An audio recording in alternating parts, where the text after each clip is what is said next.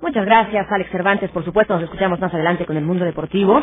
Una de la tarde con 20 minutos. Este día tengo el gusto de recibir en cabina a Juan Manuel Ruiz. Él es estudiante de maestría del Centro de Investigaciones en Óptica en la Ciudad de León. ¿Cómo estás, Juan Manuel? Muy bien, buenas tardes. Bienvenido, gracias por estar con nosotros. Y vamos a platicar de un tema, creo yo, muy interesante, sobre un proyecto que eh, metiste a un concurso de Google, Developer Boss. Así es. Así es, estoy yendo correcto. Platícanos acerca de este, de este proyecto. Bueno, eh, el Google Developer Boss fue un tipo de reality show donde eh, en tres días teníamos que desarrollar una aplicación tecnológica para dispositivos móviles o usando alguna tecnología de Google. Nosotros decidimos eh, desarrollar una aplicación móvil para sistemas operativos Android eh, usando la realidad aumentada para incentivar la lectura en los niños. Entonces, eh, la idea de este proyecto es que, bueno, en México no se tiene la cultura de la lectura. Entonces, eh, ¿cómo incentivarles a los niños que están ahorita siendo bombardeados de tantas pantallas Claro. eh, el hábito de la lectura? Y esta es agregándoles realidad aumentada a los libros. Este, realidad aumentada, para los que no conozcan, es un... Podríamos decir que es como tercera dimensión, Mm. algo así. Pues más o menos, es usando mm, eh, modelos tridimensionales, añadiéndoselos a un entorno que tú estás viendo a través de, de la pantalla de, de la cámara de tu celular o de cualquier dispositivo. Ok.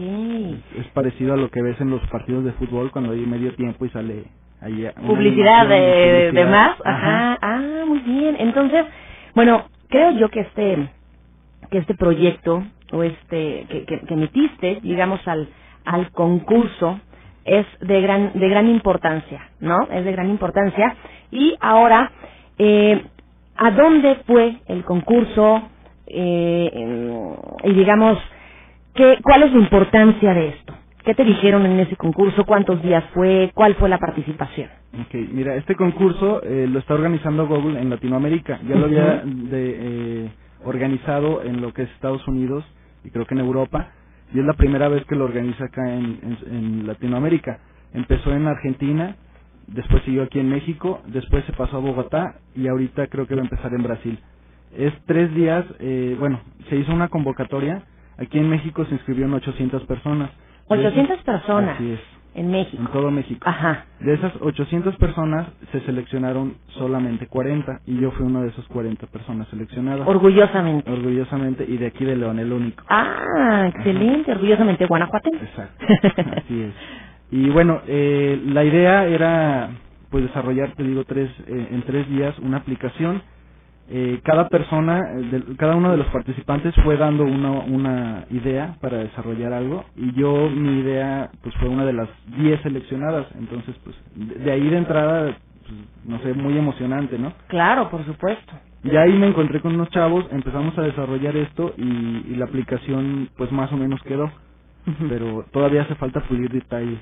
Sí, me imagino que sí. Sobre todo, incentivar la lectura en los niños. Digamos que esto es como, como lo más importante. ¿Cómo surgió la idea precisamente de incentivar la lectura en los niños? Bueno, yo ahorita tengo pues la experiencia de, de mis primos, los más chiquitos, que, que se la pasan pegados a una pantalla. Si no es el celular del papá, es- llegan a la casa y préstame tu tablet o préstame tu celular. Entonces, tú les enseñas un libro y, y no, no les gusta leer porque está aburrido y no tiene monitos, es lo que casi siempre todas las personas dicen. Entonces, eh, bueno, si tú les enseñas un, co- un, un cómic o algo impreso, sigue siendo algo impreso y ya como que lo asocian ellos a que es aburrido. Entonces, si ellos están pegados a una pantalla, qué mejor forma de transmitirles un formato físico con realidad aumentada a través de la pantalla de su celular. Por supuesto, Juan Manuel, podríamos decir que es eh, como los libros, hay unos libros que creo que todavía existen, ¿no? Que los abres y que sale del animalito, sale el objeto, ¿no? Como, como, como en realce, podríamos decirlo así. Eso es en los libros, Así es. físicamente, pero ahora eso es lo que ustedes están realizando, pero en, en tecnología, pues, ¿no? En, Sí. en estos aparatos.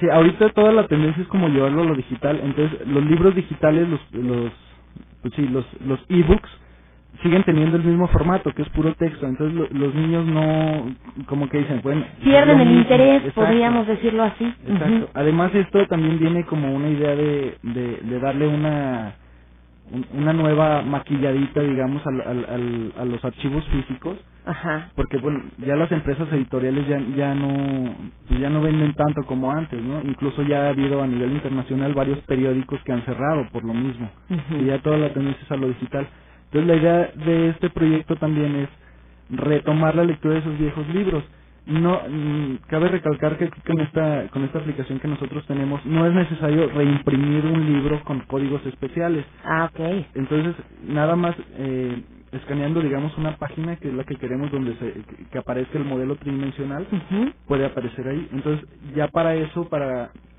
para las compañías editoriales vendría a ser como una ayudadita porque ya no tendrían que reimprimir ni, ni sacar nuevos libros, ¿no? Exacto. Entonces, imagínate ahorita los libros de texto gratuitos ahí de, la, de las primarias, Sí, sí, sí. que sin necesidad de reimprimirlos porque es un esfuerzo muy grande y una inversión muy grande, añadirles esto de realidad aumentada, no sé, para ver el modelo de la célula o, o no sé, algo, ¿no? Que Claro. puedas imaginar. Claro, por supuesto. Oye, ¿no hay a- a- alguno que corrija ortografía? Pues, ¿Qué te dices? eh, ¿Todavía no? ¿O están en proceso? Exacto, sería la idea. Están en proceso, sería la idea. Gracias, Juan Manuel, por haber estado con nosotros. Esperemos tenerte de nueva cuenta por aquí. Muchas gracias. Gracias, muy buenas tardes.